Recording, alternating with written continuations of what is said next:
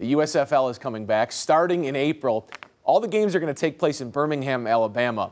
The Michigan Panthers are part of the league, and in the draft tonight had the first overall pick.